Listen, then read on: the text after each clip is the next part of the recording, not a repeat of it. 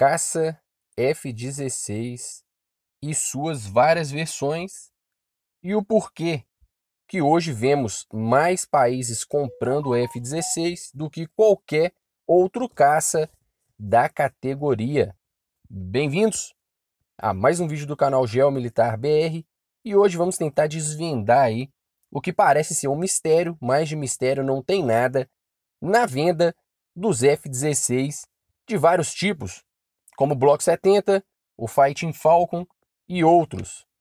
Sendo assim, o F-16, ele hoje é o avião de caça mais adquirido e mais pesquisado nos programas de compra e venda dos Estados Unidos para parceiros OTAN e extra-OTAN, como por exemplo, o programa de vendas via FMS.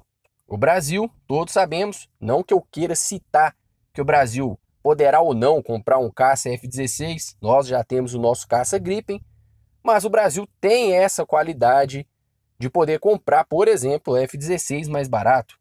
Mas vamos focar nas outras nações. A Colômbia, que recentemente queria comprar o caça Gripen em pequenas quantidades e também o Rafale em pequenas quantidades, foi negada. Agora surge em alguns fóruns internacionais que a Colômbia poderá comprar caças F-16 de segunda mão, assim também como a própria Argentina, visto que vários países utilizam, como por exemplo o Chile. Também agora está de olho aí nas versões mais novas. Então o que vemos é uma divisão do, da seguinte forma: países poderosos estão comprando o caça de quinta geração F-35 e também as versões mais modernas do F-16. Países emergentes estão adquirindo F-16 usados via FMS ou também versões mais novas do F-16 e assim não comprando outros caças de forma nenhuma, como por exemplo concorrentes que mais é conhecido aqui no Brasil, que é o próprio caça F-39 Gripen da Saab e também o caça da Sul Rafale francês. Esses caças, eles sempre estão na concorrência, mas não são adquiridos. Isso sem contar com novos aviões que estão para sair e alguns outros que já estão no mercado, como caças coreanos, japoneses, turcos e por aí vai, até mesmo russos.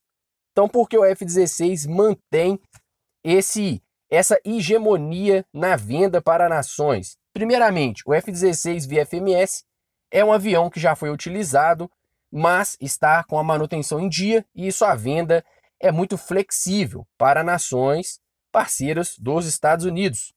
E também na sua versão mais enxuta, mas a venda para países emergentes, mesmo sem transferência de tecnologia, o valor é bem mais em conta do que, por exemplo, um Dassault Rafale ou mesmo um F-39 Gripen.